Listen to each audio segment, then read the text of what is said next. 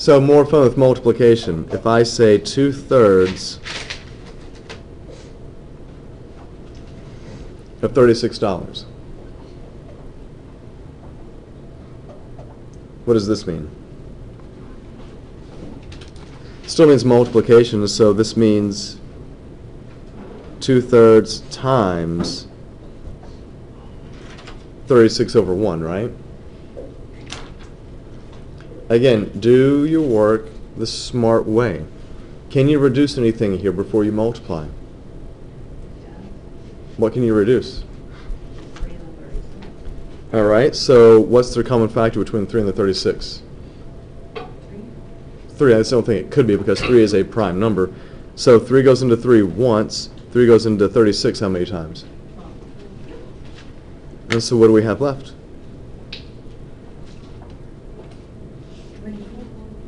That's just 24. So, if I look at this, two thirds of $36 is how much? It's $24. You guys okay with that? Mm-hmm. All right, and let's try this guy. Because all the cool kids are trying this stuff. Yeah, too bad mathematics isn't like a drug.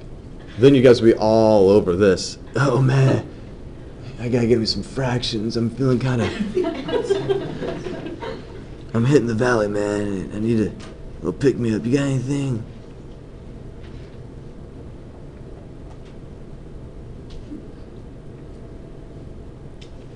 Of course, it reminds me of this horrible, like 30 minute commercial for classic rock we used to always watch when I was growing up.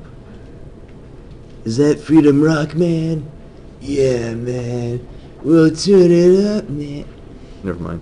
I watch way too much TV, as is clearly evidenced by everything you guys see and hear from me. All right, so 15x over 4y squared times 2xy over 10x to the third. Wow, right? Are any of you guys scared? Yeah, that's what you done heard. I know that you were scared.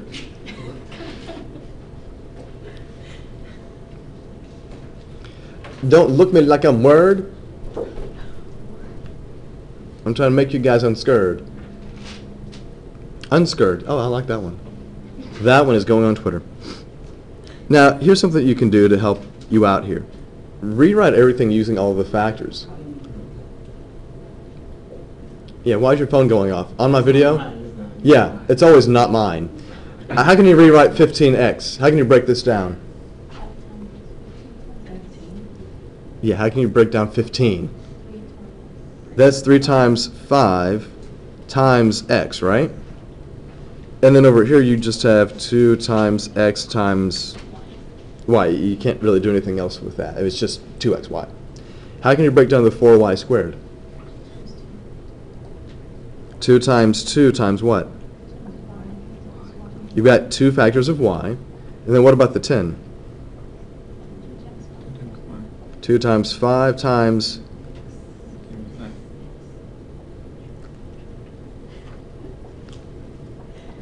Nailed it. All right. You've got all these factors. When you simplify, remember you do one on the top and one on the bottom. So tell me a pair of factors that I can that I can reduce. I've got this x and that x, one at a time, pair at a time. what else do you have? I've got another factor of x. Anything else? I've got a 2 and a 2. Now, this 2 really could have been reduced with this 2 or either one of these, right? But only 1 to 1. It has to be 1 to 1. Anything else that can reduce? The Y. The y's can reduce, a pair of y's. Anything else? 5 over 5. Is there anything else? That should be it. Now, I tried to cancel everything, hopefully clearly enough for you. What's left in the numerator? Just three, 3 is all that's left in the numerator. In the denominator, what's left? four, one. 4y And and an x, right? So the best way of writing that would be 4 xy. That is the best way to write that answer. Is there anything else these guys have in common? Maybe when you put it all together, you might have missed anything. Can you reduce the 3 with a 4? No, and x and y, those guys are not going to those guys are not going to go away. Man, I feel like that'd be a fun question to put on a test. What do you guys think? Is it good? Now, we've talked about multiplying fractions. What do you think we need to talk about next? Division. Now, before we can talk about division, I do want to mention something very special to you guys, and that is the notion of the reciprocal. Okay. And here's how we talk about the reciprocal. So two numbers, two numbers are called reciprocals if their product is 1. What does the word product mean again? Product means multiplication, right? So we're talking about two numbers that when you multiply them, you get 1.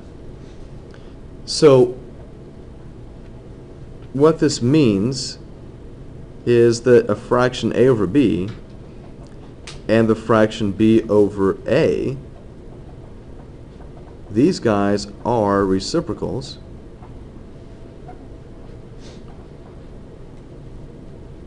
And you may say, why are they reciprocals? Well, these guys are reciprocals because look what happens when you multiply them. If I do a over b times b over a, right? Doing everything that we've done so far with multiplying fractions, this is a over b times, or a times b over b times a. Can you reduce this? How would you reduce this?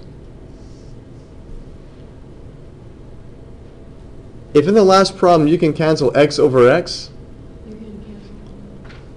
what a over a would reduce, right? Wouldn't b over b reduce? Mm-hmm. And what would you be left with? Nothing. Oh, Oh, see, this is where I get upset. The answer is not nothing. What is a divided by a? What's a divided by itself? One. 1. What's b divided by itself?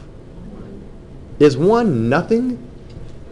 No, it may be the loneliest number, according to Three Dog Night, but it's not nothing. So I multiply these and I get 1, not nothing. A lot of times when you guys say nothing, that mathematically means you're talking about what number? 0, and that's not what we have here. But I want us to go back a long time ago we were talking about some very special words here. We said that this guy is the multiplicative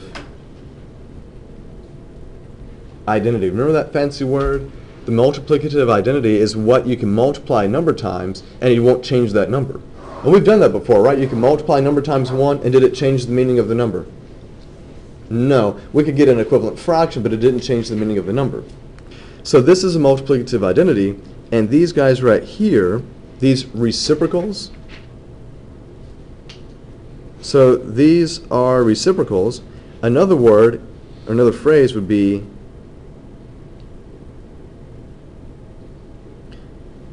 multiplicative inverses. Reciprocals are multiplicative inverses. When we talked about additive inverses, you guys call those guys opposites. Okay? And the additive identity was zero. What happens if you take a number and you add its opposite? Like 5 and negative 5, and you add those, what do you get? You get zero, which was the additive identity. When you multiply a number times its reciprocal, these are multiplicative inverses, and you get the multiplicative identity, which is 1. And we need this concept of reciprocals so that we can do division, at least the way that we have all learned how to do division. There are several ways of doing division. I'm just going to try to keep it simple for you, keep it with what you know. Uh, just a little side note here.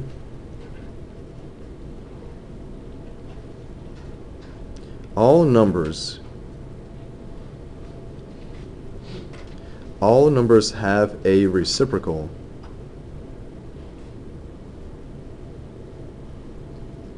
except for zero. Zero is the one number that does not have a reciprocal. Zero is the one number that doesn't have a reciprocal. If you look at these fractions, you get the reciprocal just by flipping it upside down, right?